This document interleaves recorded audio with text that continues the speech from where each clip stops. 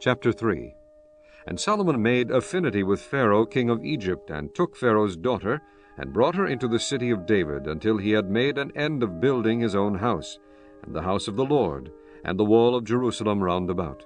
Only the people sacrificed in high places, because there was no house built unto the name of the Lord until those days.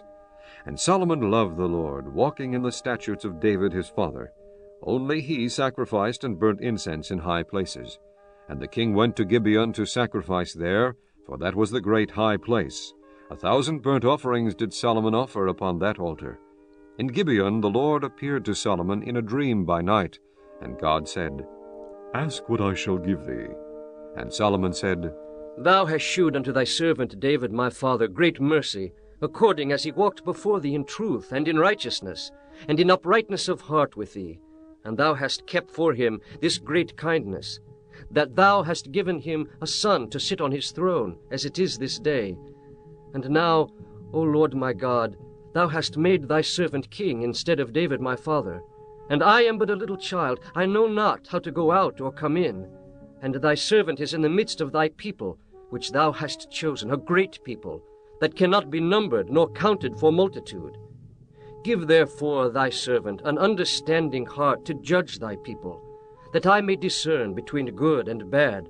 For who is able to judge this thy so great a people? And the speech pleased the Lord that Solomon had asked this thing.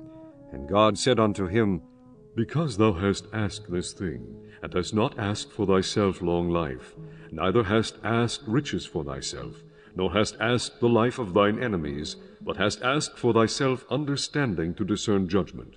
Behold, I have done according to thy words. Lo, I have given thee a wise and an understanding heart, so that there was none like thee before thee, neither after thee shall any arise like unto thee.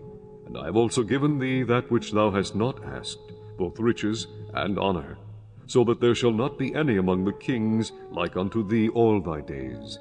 And if thou wilt walk in my ways, to keep my statutes and my commandments, as thy father David did walk, then I will lengthen thy days. And Solomon awoke, and behold, it was a dream. And he came to Jerusalem, and stood before the ark of the covenant of the Lord, and offered up burnt offerings, and offered peace offerings, and made a feast to all his servants. Then came there two women that were harlots unto the king, and stood before him. And the one woman said, O my lord, I and this woman dwell in one house, and I was delivered of a child with her in the house.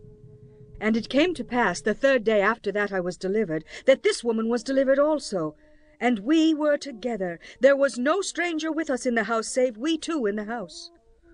And this woman's child died in the night, because she overlaid it. And she arose at midnight, and took my son from beside me, while thine handmaid slept, and laid it in her bosom, and laid her dead child in my bosom.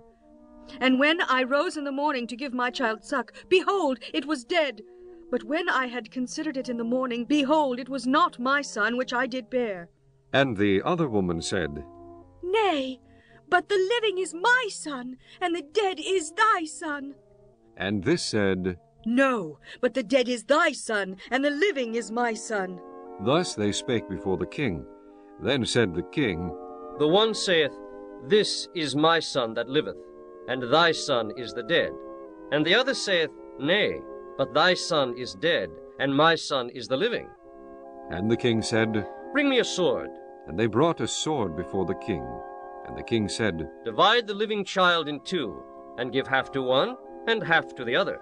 Then spake the woman whose the living child was unto the king, for her bowels yearned upon her son, and she said, O my lord, give her the living child, and in no wise slay it. But the other said, Let it be neither mine nor thine, but divide it. Then the king answered and said, Give her the living child, and in no wise slay it. She is the mother thereof. And all Israel heard of the judgment which the king had judged, and they feared the king, for they saw that the wisdom of God was in him to do judgment.